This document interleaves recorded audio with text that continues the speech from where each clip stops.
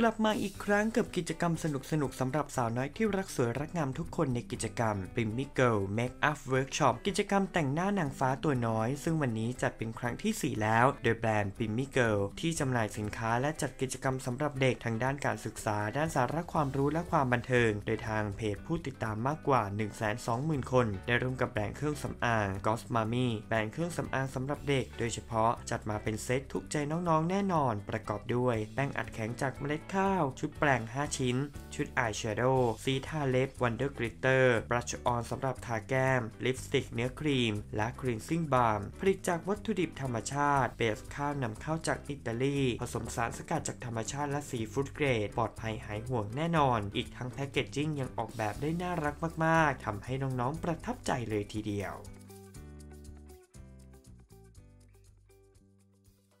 สวัสดีค่ะ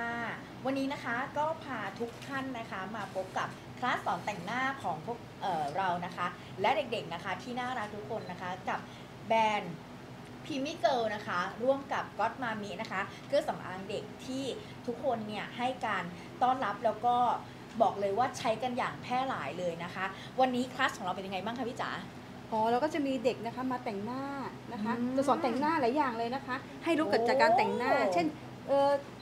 ว้าวมากว่าใช่ค่ะเด็กๆชอบมากว้าวมากดิดิเควสเลยเด็กๆรีเควสเลยค่ะรก็อบนี้เป็นประจำเนอะที่แบบว่าเด็กๆผู้หญิงทุกคนน่ะมันชอบความสวยความงามใช่เนาะค่ะ ทุกคนชอบความสวยความงามหมดไม่ใช่ว่าจะค่ะเด็กหรือว่าคนโต ใช่แต่ทีค่ะ เนี้ย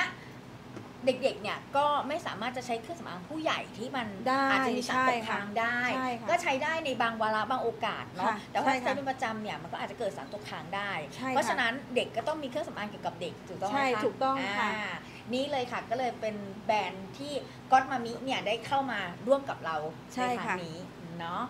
อ่าและและและอย่างวันนี้เนี่ยนะคะ นอกเหนือจากว่าเด็กๆเนี่ยจะได้ทดลองนะคะ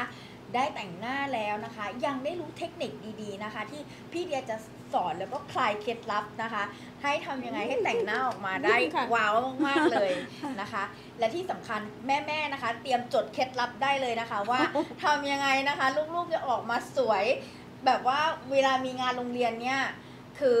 โอเค รอบนี้ฉันไม่จ้างช่างเออใช่ฉันขอแบบว่าแต่งเองเอออะไรแต่งย่าเองี้ยงดูซิเป็นยังไงนะคะนะคะได้อ่าเดี๋ยวเรามาลองดูกันค่ะค่ะท่านไหนที่สนใจกิจกรรมแต่งหน้าของเรานะคะ ก็สามารถดูได้ที่เฟซเออพริมนะคะ P R I M นะคะ จะแปะลิงก์กิจกรรมไว้ตลอดนะคะท่านไหนฝากติดตามด้วยนะคะ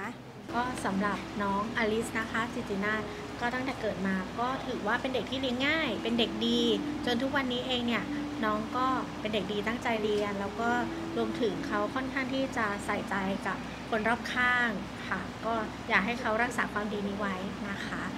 พวงมาลัยกับเป็นเด็กดีค่ะรักที่สุดมาก็รักหนูที่สุด